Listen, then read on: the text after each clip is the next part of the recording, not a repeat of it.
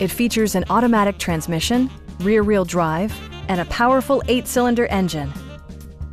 Chevrolet prioritized practicality, efficiency, and style by including delay-off headlights, a tachometer, variably intermittent wipers, a trip computer, and more.